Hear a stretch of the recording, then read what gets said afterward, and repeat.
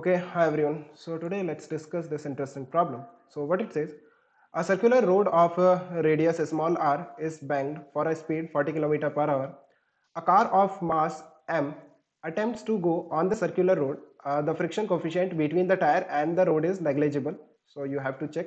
Uh, the car cannot make a turn without skidding if the car turns at a speed less than 40 km per hour it will slip down okay so इस तरह के कुछ options हैं जो हमें check करने हैं so पहले हम देखते हैं कि किस तरह से forces लगते हैं when a car is you know moving on this banked road जहाँ पे friction नहीं होता मान लो ये एंगल थीटा है और इसे ये जो रोड है इसे डिज़ाइन किया 40 किलोमीटर पर आवर से पर आवर की स्पीड के लिए so what does that mean मान लो ये कार है let's draw the free body diagram of the car then you know we will understand it better so क्या क्या forces लगेंगे एक तो vertically downward mg लगता है और uh, you know perpendicular to the inclined plane आपका normal force लगेगा and uh, if the car is moving in this uh, curved path है ना of radius r then it will have a centripetal acceleration towards the center which is v square by r अगर ये velocity v से move कर रही है then v square by r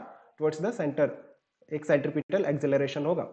But if you want to check the equilibrium of the car like आप ये चीज़ें check करना चाहते हो कि क्या कार इक्विलिब्रियम में है या फिर स्लिप कर रही है सो so बेटर होगा आप सारे एक्सेलरेशन को फोर्स के टर्म्स में लिख दो। और वो कैसे करते हैं? देखो, अगर मैं फ्री बॉडी डायग्राम बनाऊँ इस कार का ग्राउंड के फ्रेम से तो मुझे ये एक्सेलरेशन दिखेगा v square by r but अगर मैं कार के ही फ्रेम में चले जाऊँ तो ये जो एक्सेलरेशन है, मुझे नहीं दिखेगा बट फिर मैं नॉन इनर्शियल फ्रेम में होऊँगा। देन मुझे एक शूडो फोर्स दिखाना पड़ेगा, बाहर की तरफ़ m v square by r but acceleration अब देखो, कोई नहीं बचा है। नाउ सिर्फ़ फोर्सेस बचे हैं and I can easily compare the forces to check कि ये जो कार है, ये स्लिप कर रही है या नहीं। अगर कार पे नेट फोर्स ज़ीरो हो गया then car is in equilibrium right वो स्लिप नहीं करेगी।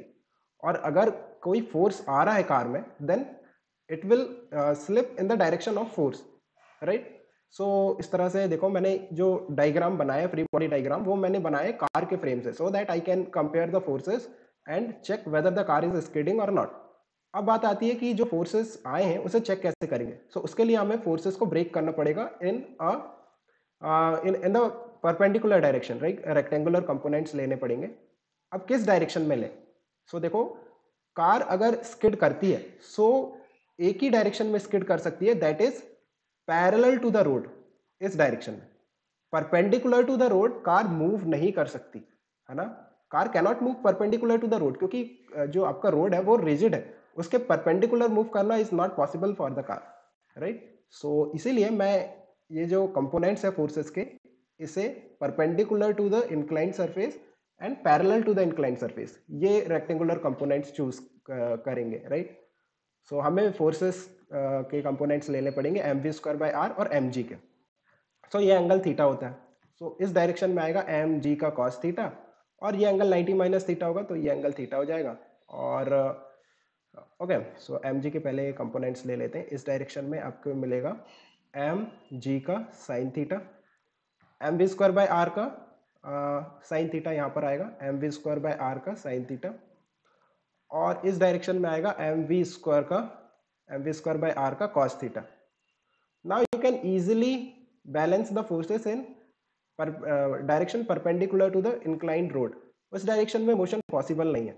सो so, एक इक्वेशन तो आप हमेशा से लिख सकते हो that is n is equal to m g cos theta plus m v square upon r into sine theta ये इक्वेशन हमेशा वैलिड है राइट right? ये होगा नॉर्मल का वैल्यू अब अगर हमें चेक करना है कि whether the car is skidding और नॉट हमें कंपेयर करना पड़ेगा the forces which are along the incline road ये रोड के जो अलोंग वाले फोर्सेस है, जैसे एक एम जी साइन थीटा है और दूसरा m v square by r into cos theta है तो इन दोनों को कंपेयर करना है।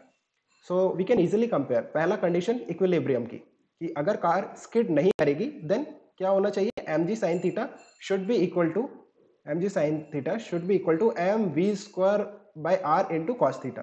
So यहाँ से क्या निकल कर आ रहा है? You can check tan theta का जो वैल्यू निकल कर आ रहा है that is v square upon r g so देखो, ये काफ़ी इंटरेस्टिंग रिज़ल्ट है। ये जो कार उसने डिज़ाइन एक्चुअली ये जो रोड उसने डिज़ाइन करी है, ये 40 किलोमीटर पर आवर के लिए डिज़ाइन करी है। इसका मतलब क्या है? कि उसने जब ये रोड डिज़ाइन की होगी राइट? जो इंजीनियर है, जिसने ये रोड डिज़ाइन की है तो how he decided the angle कि कितने एंगल पे उसे बैंक करना है। नाउ जो इंजीनियर है, उसे पता है कि he is designing the road for 40 kilometre per hour then he know the velocity right ये जो वेलोसिटी है, इसका वैल्यू कितना होगा? 40 kilometre you can convert it to metre per second है ना? 5 बाई एटीन से मल्टीप्लाई करके। और रेडियस ही ऑल्सो नोज़ कि कितने रेडियस का कर्व उसे डिज़ाइन करना है। और जी का वैल्यू सबको पता होता है। तो that's how he decided the angle कि कितने एंगल पे उसे हॉरिजॉन्टल से रोड को ऊपर की तरफ़ ले जाना है। So that the road can be design for 40 kilometre per hour इसका मतलब है कि if a vehicle wants to move on this road with this designed speed तो उसे स्किड uh, नहीं करना पड़ेगा। Like you know he can easily cross the curve right now what will happen if a vehicle tries to cross this curve with a speed lesser than the designed speed? अगर उसकी जो velocity है वो lesser than designed velocity let's call it v naught है ना? जिस भी speed uh, के लिए हम रोड डिज़ाइन करेंगे उसे हम वी नॉट कहते हैं। What will happen if v is less than v naught देखो अगर v, आप वेलोसिटी को डिक्रीज करोगे वेलोसिटी मींस स्पीड है ना? स्पीड को अगर हम डिक्रीज करें तो देखो ऊपर वाला जो फोर्स है वो डिक्रीज हो गया। सो व्हाट विल हैपन जो कार है आपका स्किड करेगा डाउनवर्ड डायरेक्शन में। नाउ व्हाट विल हैपन अगर आपने जो वेलोसिटी है वो इंक्रीज uh, कर दिया वी नॉट से. If a car is trying to you know move on this curve with a speed greater than the designed speed then आप देखो जो ऊपर वाला फोर्स है m v square r into cos theta ये बढ़ जाएगा. सो कार यू नो ऊपर की तरफ़ मूव करने लगेगी ऊपर की तरफ़ स्केट करने लगेगी right so let's go back and check the options पहले ऑप्शन देख लेते हैं. Uh, the car cannot make a turn uh, without skidding. No if the car is moving with the designed speed he can easily turn without skidding right? उसे 40 kilometre per hour से move करना पड़ेगा then he can easily turn without skidding so option A is not correct if the car turns at a speed less than 40 kilometre per hour it will slip down of course और अगर 40 kilometre per hour से ज़्यादा से turn uh, लेगा then ऊपर की तरफ़ slip uh, करेगा. So option B is correct if the car turns at a correct speed of 40 kilometre per hour the force uh, by the road on the car is equal तो हमें normal reaction का value निकालना है. Normal reaction का value find करो when the car is moving with the designed speed अगर car designed speed से move कर रही है then what will be the value of normal अब देखो ये है नॉर्मल का वैल्यू हमें इसे नॉर्मल के वैल्यूज़ को कंपेयर करना है with m v square by r so देखो m v square r sine theta cos theta यहाँ पे एम जी है. आप अगर किसी तरह जी को रिप्लेस कर दो सो so, जी को रिप्लेस करने के लिए हमें एक इक्वेशन चाहिए रहेगी. देखो अगर कार डिजाइंड स्पीड से मूव कर रही है तो ये इक्वेशन वैलिड है. ये जो इक्वेशन हमने निकाली थी tan theta is equal to v square by r g ये कब वैलिड है? When the car is moving with the designed speed so यहाँ से हम जी का वैल्यू रिप्लेस कर सकते हैं वी स्क्वायर बाय आर के टर्म्स में।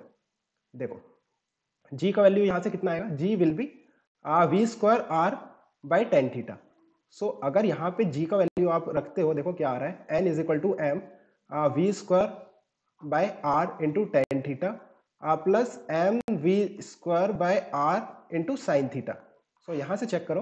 देखो अब नॉर्मल रिएक्शन और m v square by r बचा है है ना? और थीटा बचा है। So m v square by r common आ जाएगा। और ये कितना आ रहा है? चेक करो।